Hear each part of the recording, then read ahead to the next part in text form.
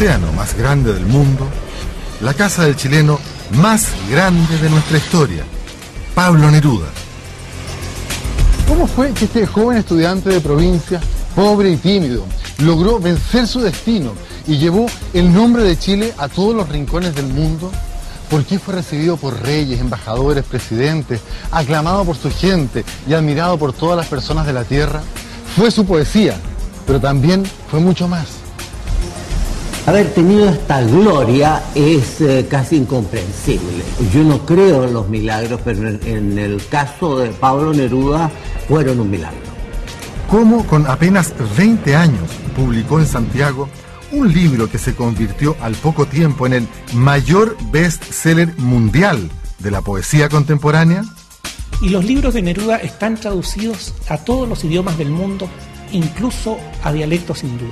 ¿De dónde sacó la convicción y la fuerza para salvar a 2.400 españoles derrotados en la guerra civil, destinados a morir en los campos de concentración? Sin duda yo no sé realmente qué destino habríamos tenido. Es decir, nosotros le debemos la vida a Neruda. En 1971, a los 67 años y siendo embajador en París, recibe el Premio Nobel de Literatura. Pero lo más grande de Neruda no es solo este premio o la perfección técnica de su poesía, es su increíble historia de vida. Brilló donde estuvo. Senador, diplomático, candidato a presidente de la República, poeta prohibido y clandestino, constructor de casas, coleccionista y sobre todo un gran gozador de la vida. Neruda es parte de nuestra historia, está en nuestro ADN.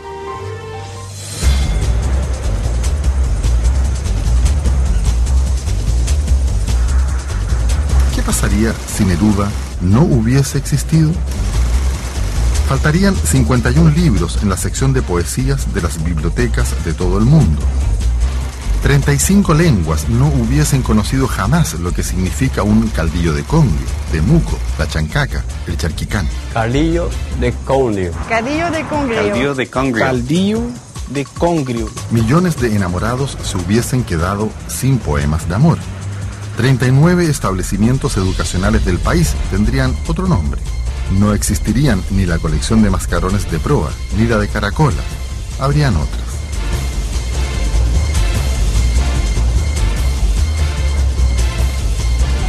Los jaivas no hubieran cantado las alturas de Machu Picchu y para nosotros los chilenos, la ciudad incaica no tendría el mismo valor que hoy tiene. Y entre otras muchas construcciones como edificios, hoteles, piscinas, 20 calles en Santiago, una en Buenos Aires, tres en México y 57 en Francia, tendrían otros nombres. Pablo Neruda nació como Neftalí Reyes, en julio de 1904, en Parral. Como si su única misión en la vida fuera entregar un ser magnífico y singular a este mundo, su madre, Rosa Neftalí, murió un mes después de dar a luz, consumida por la tuberculosis. Él solo llegó a conocerla a través de una foto guardada en el baúl de unos vecinos. Cuando nací mi madre se moría, como una santidad de ánima en pena. Ella murió, yo nací. Por eso llevo un invisible río entre las venas. Su padre, el trabajador ferroviario José del Carmen Reyes, volvió a casarse. Trinidad Candia se convirtió en la madrastra de Neftalí y él la llamó mamá madre. Antes de cumplir 11 años, cursando el quinto año básico, le dedicó estas líneas. De un paisaje de áureas regiones, yo escogí para darle, querida mamá, este humilde postal. En el Liceo de Temuco conoció a Gabriela Mistral, que llegó como directora y lo animó a leer los más importantes autores rusos. Con el instinto de los grandes, ella tal vez reconoció que en ese niño brotaba un talento destinado a hacer historia. Sin embargo, los versos de Neftalí no conmovían en su propia casa. Sin su madre biológica, criado por su madrastra, con un padre ausente que de hecho siempre se opuso a que él fuera poeta. Pablo desde niño fue un niño muy especial. Él tenía una gran convicción personal. Un joven estudiante en un liceo de provincia, Temuco, comienzos del siglo XX. Ahí está su grandeza.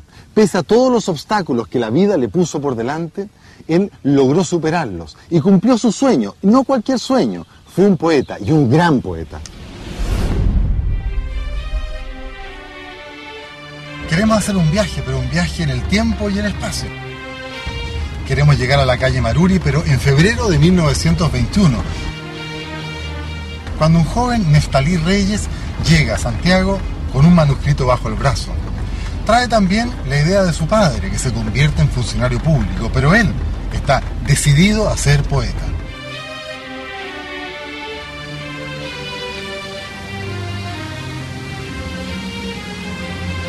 En ese entonces, Maruri es un barrio de clase media baja, donde se arriendan piezas baratas para estudiantes universitarios de provincia.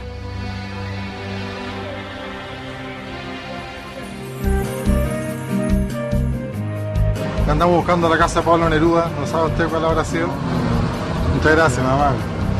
Aquí parece que es el 513. ¿Sabe quién es Neruda o no? Sí.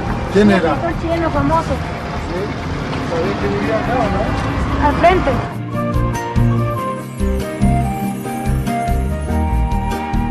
Estamos finalmente aquí en Maruri, frente al 513. Nos ayudaron a llegar los niños, los vecinos. Quizás cuando Neruda llegó aquí, su primera pensión, llegando a Santiago, le pasó algo parecido. Venía revisando ya en el tren cómo hacer para encontrar esta dirección.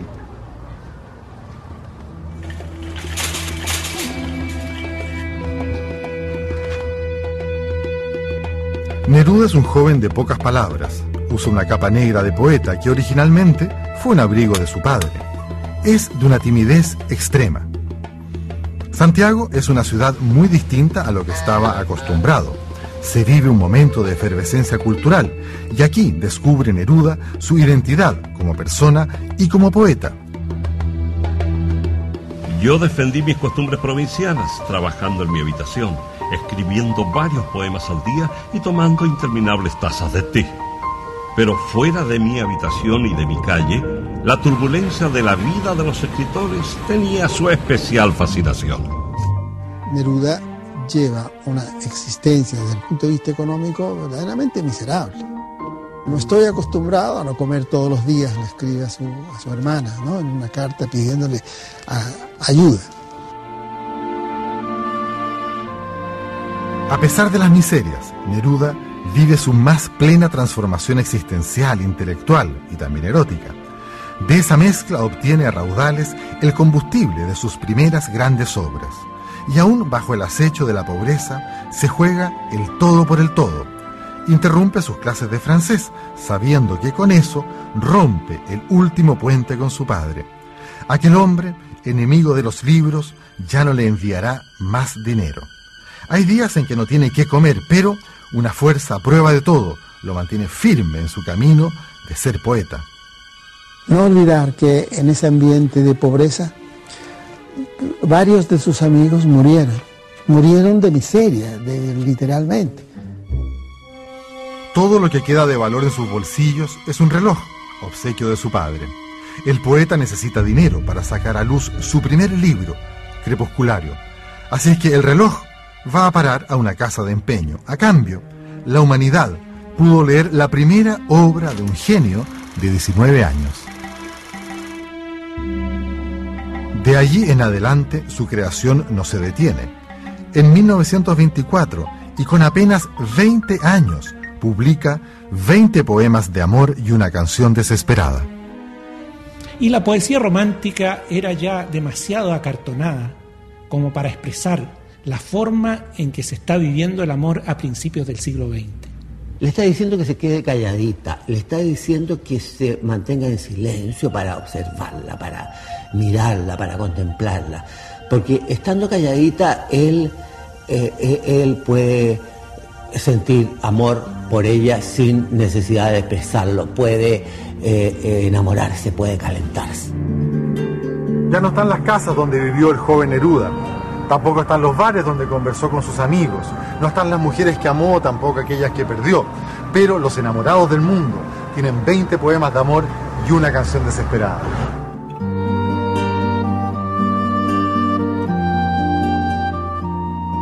¿Puedo escribir los versos más tristes de esta noche? Escribir, por ejemplo, la noche está estrellada. Y tiritan, azules, los astros a lo lejos. El viento de la noche gira en el cielo y canta. ¿Puedo escribir los versos más tristes esta noche? En las noches como esta, la tuve entre mis brazos. Mi corazón la busca y ella no está conmigo. Entre mis brazos, haberla perdido, el último dolor que ella me causa. Neruda publicó 51 libros, pero sus 20 poemas de amor son sus poesías más reconocidas. Un verdadero fenómeno editorial que se expandió por el mundo y que continúa hasta el día de hoy. Hasta tal punto llegaba la popularidad, hasta tal punto llegaba el reconocimiento mundial, la magnitud de la figura de Neruda, que, que, que, los norteamericanos, como lo hacen con todo, inventaron una sigla para él, de GLP, The Greatest Living Poet. ¿Cuántos ejemplares habrán en el mundo de los 20 poemas de amor y la canción desesperada? Fíjese que en los años 60 la editorial Lozada festejó el primer millón de ejemplares vendidos. Hoy día, 40 años después, ¿cuántos habrán? ¿5 millones? ¿6 millones? Hoy el poema 15 puede recitarse en más de 35 idiomas, desde el ruso al japonés al checo. En el lenguaje de la poesía, un chileno les dio las palabras para expresar la emoción más universal de los seres humanos. Le da la voz a los amantes que no saben cómo expresar este sentimiento tan inquietante y tan universal que es el enamoramiento.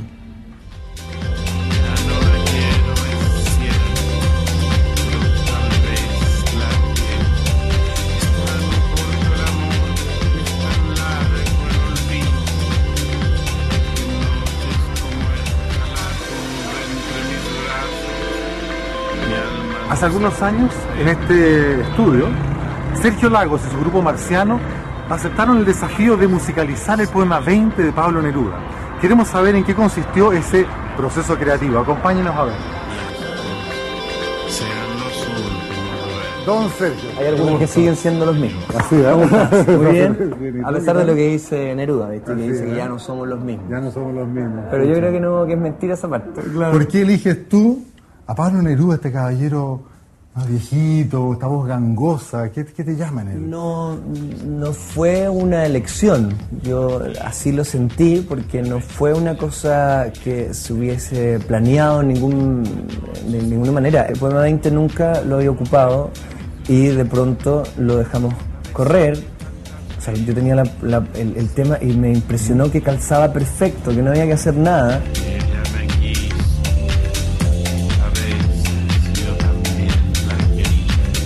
Autores o los creadores, eh, cuando logran cierto estado de gracia, entre los que podemos contar a Neruda, claramente su obra sigue eh, repercutiendo y sigue vibrando y sigue introduciéndose de alguna manera en la vida de nosotros, los mortales, digamos.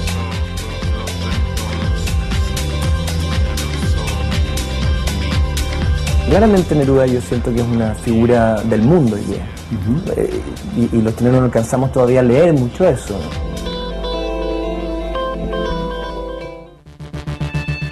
Neruda ha conocido el amor, el desamor y la pobreza, pero conoce muy poco del resto del mundo. Llega el momento de embarcarse en su pasión de viajero empedernido. Una aventura que no dejará hasta el fin de sus días. El poeta parte como cónsul a Rangún, Java, Batavia, lugares donde no hay prácticamente trabajo que hacer y en donde experimenta la más terrible de las soledades. Como ya sucedió en Santiago, de esta nueva experiencia dolorosa vuelven a surgir asombrosos libros, esta vez Residencia en la Tierra. Sucede que me canso de ser hombre. Sucede que entro en las sastrerías y en los cines marchito, impenetrable, como un cisne de fieltro navegando en un agua de origen y cenizas. Después de cuatro años eternos, regresa a Chile en 1931 y solo en 1936 logra cumplir su sueño. Consigue que lo envíen como cónsul a Madrid. Neruda tiró un tabique, convirtió en un gran salón eh, su casa y es donde comenzaron a reunirse los escritores y los poetas de la época. A ella asistían gente como García Lorca, como eh, Rafael Alberti, como Miguel Hernández, en fin, la mayoría de la intelectualidad madrileña.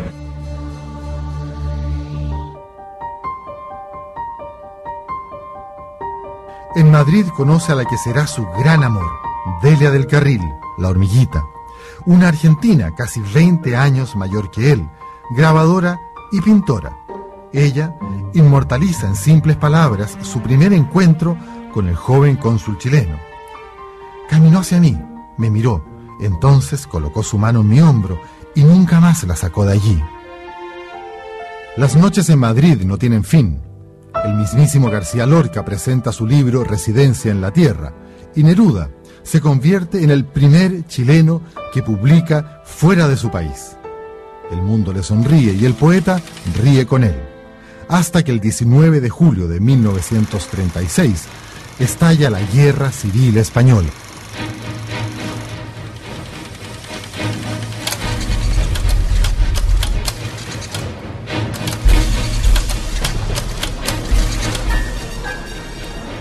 Las noticias de la guerra civil llegan rápido a Chile. Aquí tenemos la portada del Mercurio, julio del 36. La Nación también, de julio del 36. El general Franco alzado en el sur atenta contra el gobierno republicano. Pelean hermanos contra hermanos, vecinos contra vecinos. Es una guerra civil, la peor de las tragedias. Y en el año 36, cuando estalla la guerra civil, él ve cómo se desmorona todo este mundo en el que había sido feliz. Tan feliz como seguramente no lo fue en ningún otro momento de su vida. Neruda toma la pluma y escribe España en el corazón, un libro que denuncia el horror de la guerra. Cientos de miles de hombres fugitivos repletaron las carretas que salieron de España. La inmensa columna fue bombardeada cientos de veces. Cayeron muchos soldados y se desparramaron los libros en la carretera. Escribe el poema Explico algunas cosas, que dice, preguntaréis ¿y dónde están las rosas? Y luego preguntaréis por qué su poesía no nos habla de los volcanes, de los bosques de su país natal, y la respuesta es, venid a ver la sangre por las calles. Y una mañana todo estaba ardiendo, y una mañana las hogueras salían de la tierra devorando seres, y desde entonces fuego, pólvora desde entonces, y desde entonces sangre. En medio del desastre, desilusionado por la indiferencia de su gobierno hacia la tragedia que desangra España, Neruda se aferra a su integridad moral, renuncia a su puesto en el consulado y lo envían de vuelta a Chile. Cuando desembarca en el puerto de Valparaíso ya no es el mismo. Consigue que el presidente electo Pedro Aguirre Cerda lo nombre cónsul para la inmigración española en Francia. Su misión, traer la mayor cantidad de refugiados posible a Chile quiere traer más de 2.000 españoles, pero lo único que obtiene es un antiguo carguero francés, el Winnipeg, que solo tiene capacidad para 20 pasajeros. Los trenes llegaban de continuo hasta el embarcadero. Las mujeres reconocían a sus maridos por las ventanillas de los vagones. Habían estado separados desde el fin de la guerra civil y allí se veían por primera vez frente al barco que los esperaba. Nunca me tocó presenciar abrazos, sollozos, besos, apretones, carcajadas de dramatismo tan delirantes. Dormíamos abajo de todo y era estar como en el fondo de una ballena y oíamos como las olas iban golpeando ahí. Y este era un barco de carga al cual hubo que limpiarlo, eh, en fin, porque un olor a pescado podrido horrible, y adaptarlo con literas de, madera. Después de este mes metidos adentro de, la, de, la, panza de este, grande, este buque carguero lleno de gente y todo, ustedes entran de noche a esta bahía. A, esta bahía de noche, imagínate. ¿Qué te acuerdas tú de eso, iluminada, Toda iluminada de noche. uno imaginaba que uno llegaba a una pequeña aldea, eh, al, al, fin del mundo, del continente eh, americano, sudamericano. Y, y, se encuentra con una ciudad que parecía un sueño, realmente era igual que un sueño.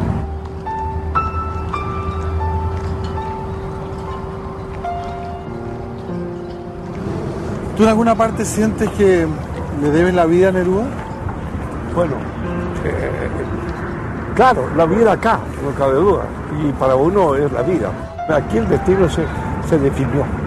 Entonces, claro, qué importante, es como llegar a tu casa, fíjate, siendo casa, la casa de amigos, que eso uno sintió desde el primer momento, que eso es impagable. Ya, puchito, eso, suave, mira, eso, así.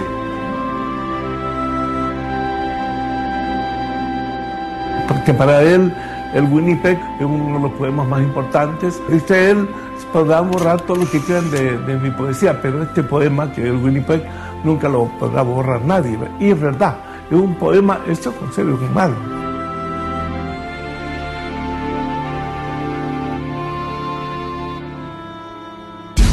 Vientos de tormentas echan la vida del poeta.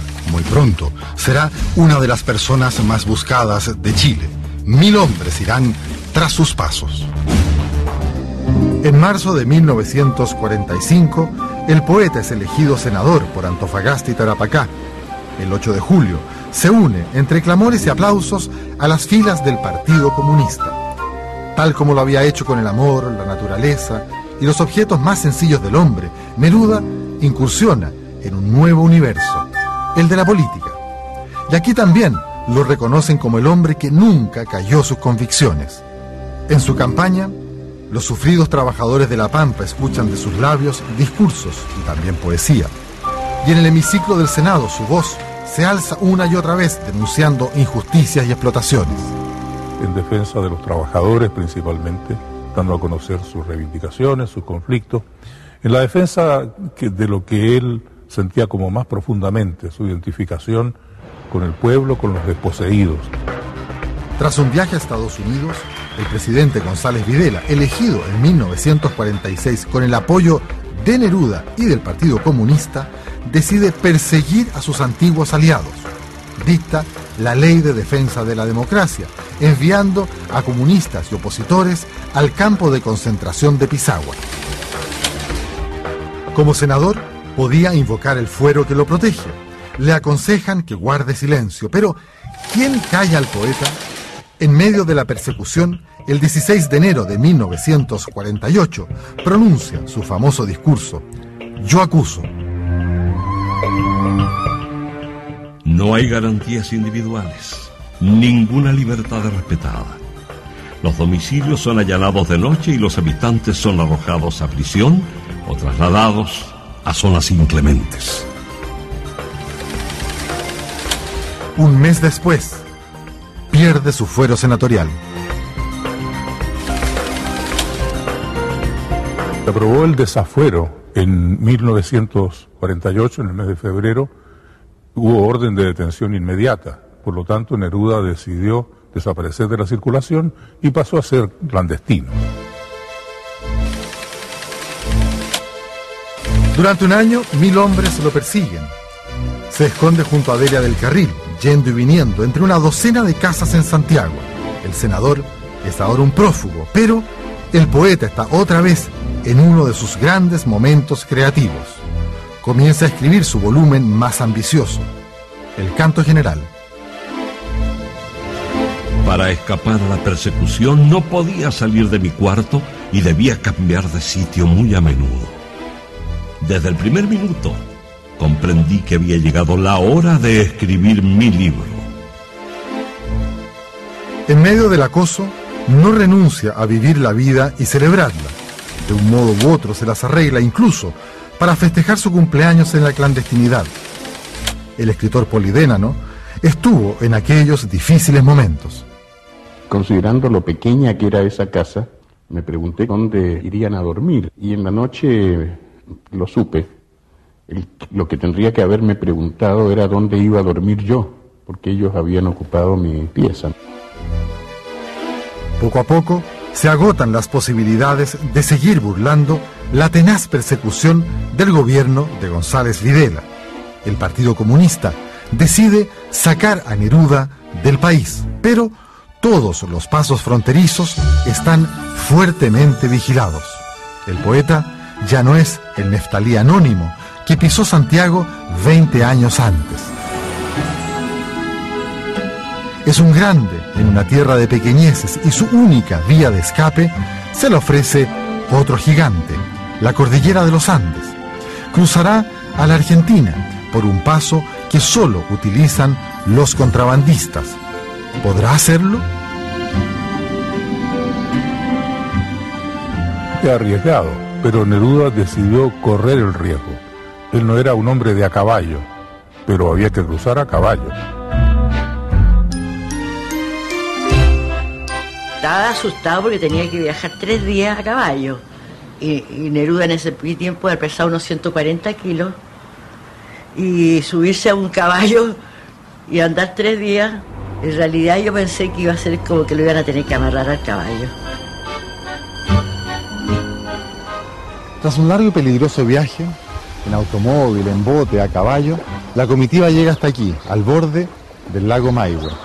Ahora deben cruzar al frente, a Huaynahue. En la hacienda del mismo nombre, el poeta permanecerá por cerca de dos meses antes de intentar el difícil cruce de la cordillera de los Andes.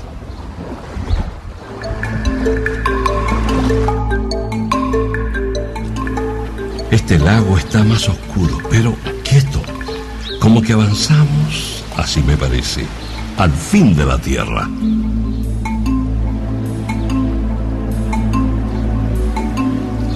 Después de una soledad abrumadora, ayudados por golpes de whisky escocés, llegamos a una ribera. Parecía otro mundo. Tahiti o más allá, y desde lejos se veía la altísima montaña saliendo del agua.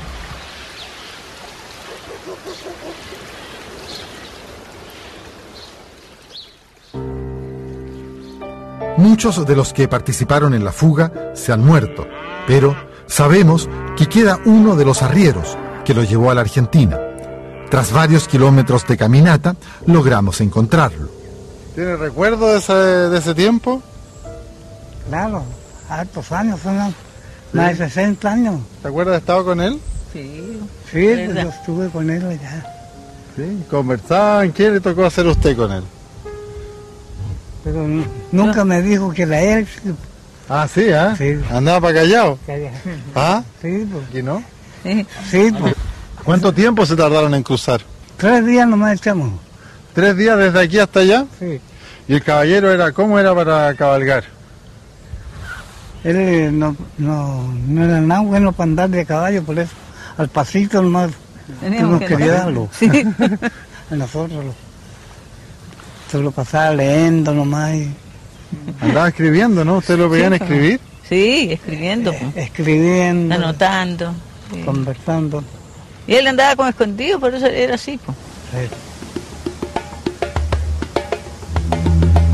Hay que atravesar las altas cumbres, un momento difícil. De hecho, Neruda tiene dos accidentes que casi le cuestan la vida atravesando por estos lugares. Eso nos lleva a otra dimensión del poeta. Prefiere sufrir los rigores de una travesía de este tipo antes que someterse a la pérdida de la libertad en Chile. No había huellas, no existían senderos. Todo era una naturaleza deslumbradora y secreta, y a la vez una creciente amenaza de frío, nieve, persecución. Todo se mezclaba, la soledad, el peligro, el silencio y la urgencia de mi misión. Mientras tanto, en Europa, el incierto destino de Neruda corre como un escalofrío. No hay noticias del poeta. Sus grandes amigos se movilizan.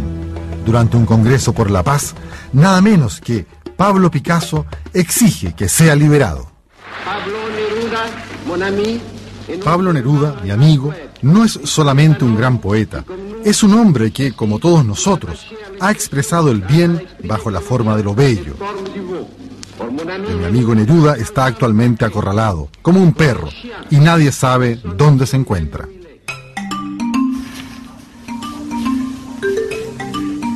En el silencio de su fuga por los senderos de la inmensa cordillera, el hombre acorralado se libera por medio de la poesía. Neruda enhebra, una por una, las más bellas páginas de su monumental Canto General.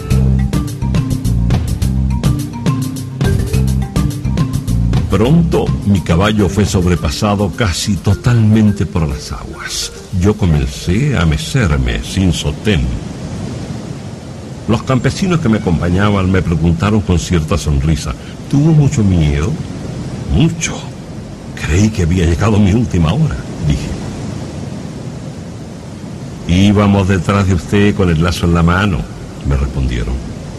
Ahí mismo, agregó uno de ellos, cayó mi padre y lo arrastró la corriente. No iba a pasar lo mismo con usted. Cuando Neruda pasa por aquí, está terminando de escribir el Canto General, una de sus grandes obras. En este lugar, junto a los arrieros que de hecho se niegan a recibir dinero por ayudarlo a cruzar la cordillera, Neruda se reencuentra con aquella voz épica, generosa, solidaria de la gente de su país. Y no es mucho pedir, tenemos tanto y sin embargo tan poco tenemos que no es posible que esto continúe. Este es mi canto. En aquellos días de persecución y acoso al comunismo, poco ayudaban a Neruda los versos y elogios que dedicó a la figura del dictador soviético José Stalin. En esos años de guerra, el poeta del amor no podía separarse del poeta político y como muchos otros vio a Stalin como un héroe. Y aunque Neruda siguió siempre leal a su partido, cambió por desprecio lo que un día fue admiración. En su memorial de Isla Negra, dedicó duras palabras al fenómeno stalinista, criticando sus estatuas estucadas como un bigotudo dios con botas puestas.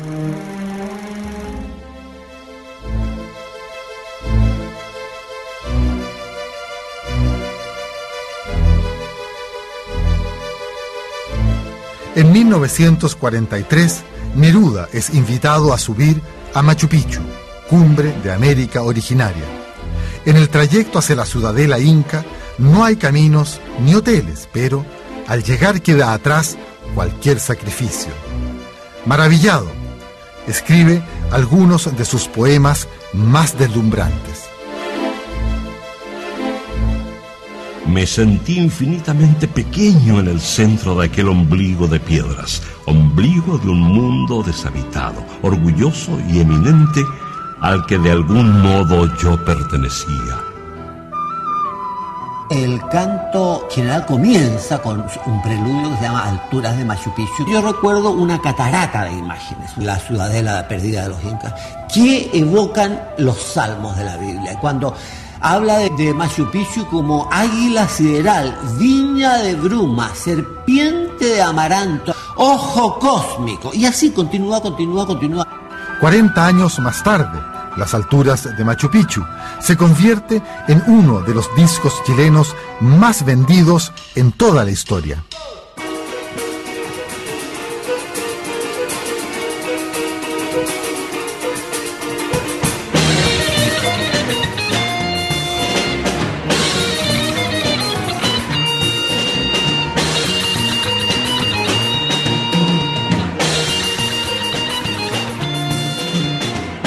La fuerza la transmitía, las palabras transmiten, son muy potentes.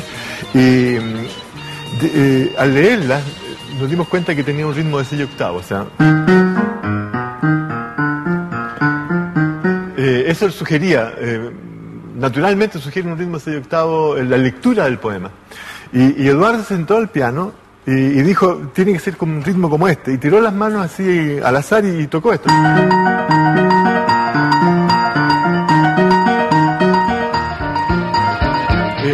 Inmediatamente todos nos sentamos en el instrumento, empezamos a tocar y, y, el tema salió muy rápido.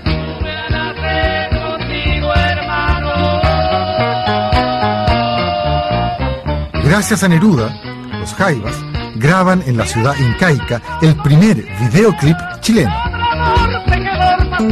Alonso de Ercilla le cantó en La Araucana a la gallardía de un pueblo y al nacimiento de un país llamado Chile.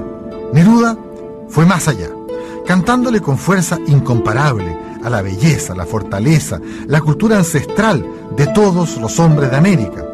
Puso en la historia universal a Machu Picchu, a los incas, a los araucanos, mostró a los ciudadanos del mundo el pasado heroico y olvidado de nuestro continente. Es un poema que a uno lo hace reencontrarse con un continente que, que en el colegio no te lo enseña, pero todavía se sigue enseñando el renacimiento, la antigüedad. ¿Y Neruda qué hace en el canto general? Nos hace reencontrarnos con esa, con esa grandiosa América precolombina, un mundo que, que no conocíamos, que no conocíamos, y lo descubre un poeta. Se avecina una era de creación desbordante. En su refugio de Isla Negra, aflora el Neruda coleccionista, el constructor de casas, el anfitrión, generoso y sibarita. Después de sufrir la soledad en Oriente y la guerra en España, después de haber sido senador por el norte y fugitivo en el sur, la vida le concede una tregua y se instala en Isla Negra. Frente a frente con el océano, su obra será inmensa y fecunda. Aquí escribirá 41 libros más. Esta etapa comienza junto a una nueva mujer, Matilde Urrutia, a quien conoce en México. Mucho más joven que Neruda, deslumbra al poeta, revive su pasión y su pluma. Matilde pone en orden su vida y organiza todo para que él se concentre en escribir, sus siestas, sus horarios, sus comidas. De paso, el poeta construye otras huellas, perdurables como sus versos, levanta casas como no existen en ningún lugar y reúne aquí la belleza del mundo.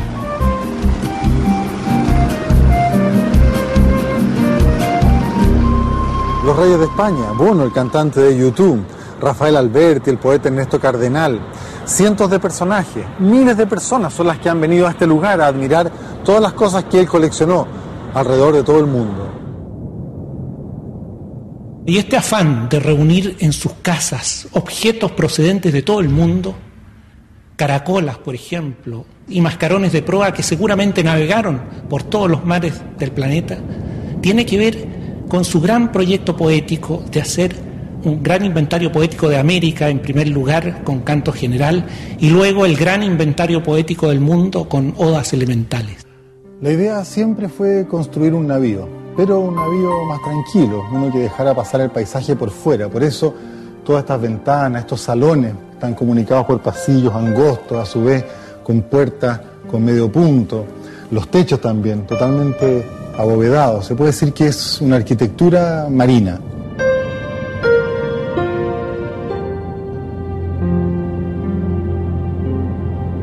De todos los que, que él traía de todas partes del mundo, decía que para él era un juguete, porque él cuando chico no tuvo oportunidad de tener ese juguete. ¿No se parece a Stalin?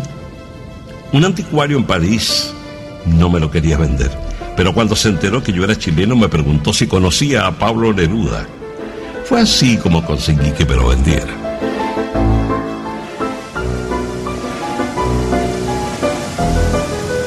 Enrique Segura tenía dos años y medio de edad cuando conoció al poeta.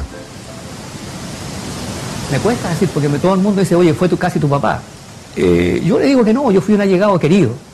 ¿Ah? El viejo le- me escribió un poema que yo creo que nadie le ha escrito a un, a, un, a un amigo o a alguien como el poema que me escribió. Y dice A, E, S, S. Y empieza A, Enrique Segura Salazar. Y ahí empieza. Cinco años de, luego seis, aquí en el abandono de la costa. ¿Ah? O Enrique, sabrás más tarde que vi cómo crecía. Una pestaña más, algo íntimo. Es- Eso eh, eh, me, deja bien, bien descolocado, ¿viste? porque es muy lindo.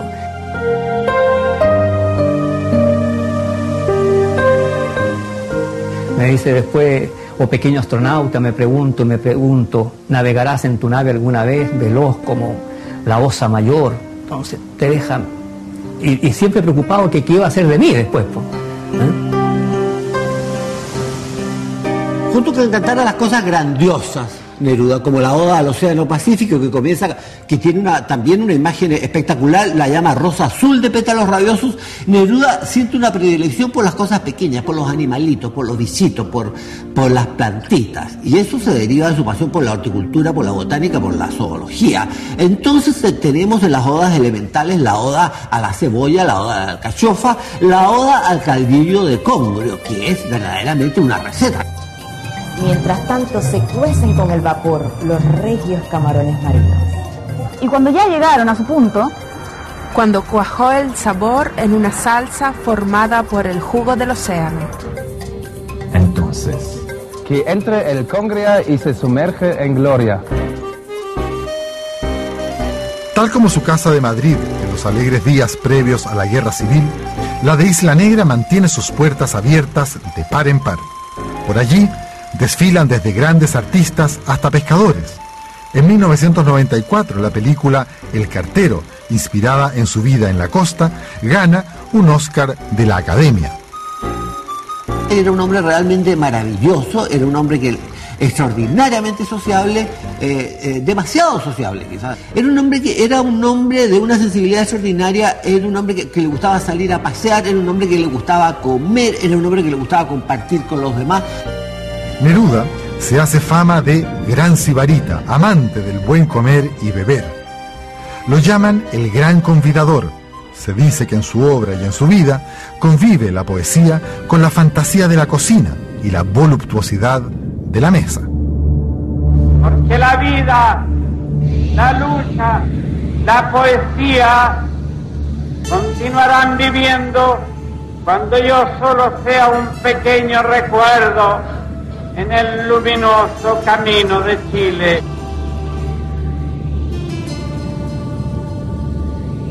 El mundo entero le debe miles de versos a estas paredes. Acá, el poeta no solo encontró la inspiración para darle un sentido nuevo a su poesía, sino que dejó una huella imborrable en todos aquellos que lo conocieron como un ser humano excepcional, amante de la vida y la naturaleza. A fines de los años 60, es uno de los poetas más editados e influyentes del siglo. El más leído desde Shakespeare, aseguran desde la mismísima Universidad de Oxford en Inglaterra, que le otorga el título de Doctor Honoris Causa, pero, a pesar de la fama que lo antecede, no deja de participar de la vida política de su país. En 1969, el Partido Comunista lo elige como precandidato a la presidencia de la República, un hecho histórico, un poeta, camino a la moneda. Sin embargo, Neruda hace a un lado sus opciones y renuncia a favor del candidato de la Unidad Popular. Participa activamente en la campaña que dará el triunfo al doctor Salvador Allende. El nuevo presidente lo designa embajador en París. En la ciudad luz, el nombre de Neruda está a punto de hacerse inmortal. Hoy hace 75 años que Alfredo Nobel falleció en San Remo, después de una vida excepcionalmente colmada de actividad. Hoy hace 70 años que se entregó el primer premio Nobel. Y hoy se entregará el segundo premio Nobel a los chilenos. Lo ha obtenido el poeta Pablo Neruda. 21 de octubre de 1971. Chile está de fiesta. Yo vengo de una oscura provincia, de un país separado de todos los otros por la tajante geografía. Fui el más abandonado de los poetas y mi poesía fue regional, dolorosa y lluviosa. Pero tuve siempre confianza en el hombre. No perdí jamás la esperanza. Por eso tal vez he llegado hasta aquí con mi poesía y también con mi bandera.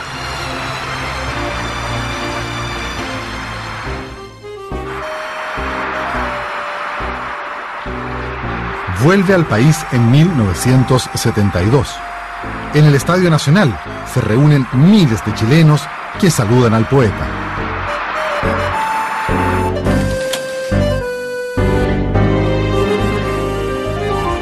Estadio está lleno, la gente está contenta, probablemente el poeta también está muy feliz del recibimiento de su pueblo. Muy pocos saben que ya en ese momento él está mortalmente enfermo de un cáncer a la próstata. Solo le quedan meses de vida. Neruda conquista el premio Nobel, pero su momento de gloria no iba a durar. La muerte está a la vuelta de la esquina y una tragedia mayor enluta a la patria que aclama al poeta.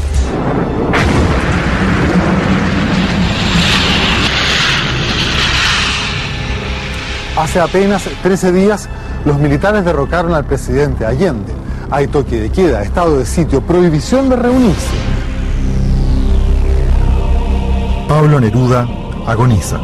Matilde toma la decisión de trasladarlo a la Clínica Santa María en Santiago. Allí lo visita el embajador de México y le sugiere que salga del país. El ánimo de Pablo era bastante bajo. Preguntaba por sus amigos concretamente, que era de fulano, que era de sutano, porque estaba angustiado por todo lo que estaba ocurriendo a su alrededor y no tenía deseos de vivir.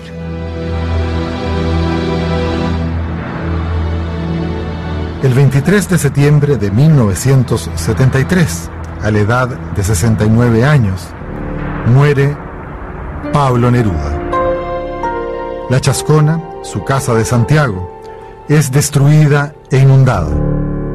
Cuando llevamos a Pablo de la clínica a su casa, no pudo entrarse por todos los destrozos que habían, entonces hubo que dar la vuelta por detrás, por el cerro. Y enseguida se le condujo a su living, donde se le veló que estaba hecho tira, con los vidrios rotos, con las cortinas caídas. La gente que se atreve a llegar hasta el cementerio para acompañar al poeta arriesga ser detenida. Su funeral se convierte en la primera manifestación de protesta contra la dictadura. El ambiente es tenso, se siente el temor. De las tierras desoladas, aquí tenéis como un montón de espadas y corazón dispuesto a la batalla. Que de ver tantos soldados apostados a lo largo de las calles, con metralletas, con las tanquetas, con carros militares que querían impedir el paso. Pero la verdad de las cosas es que no se atrevieron a tanto.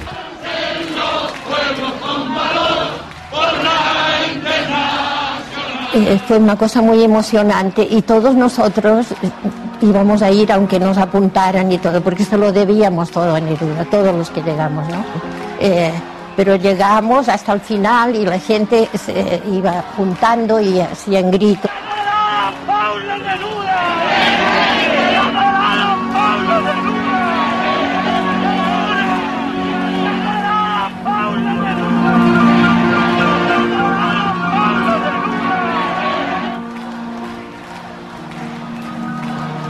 Aquí, en Isla Negra, descansan los restos del mayor poeta de nuestra historia, el más universal de habla hispana. Un aventurero que salvó a miles de españoles de una muerte segura. Un hombre que reinventó nuestro lenguaje, le dio a millones de seres humanos lo necesario para expresar el amor. Puede que muchos no sepan dónde está Chile, pero todos saben quién es Neruda.